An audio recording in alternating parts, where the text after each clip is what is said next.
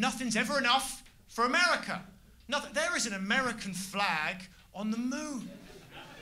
There is an American flag on the moon. I mean, if there's one thing in life that can't be claimed, surely it's the moon. But no, moon's American. Makes sense. Of course, the moon's American. It's white, it's round, it's inexplicably involved in women's reproductive organs. It makes sense.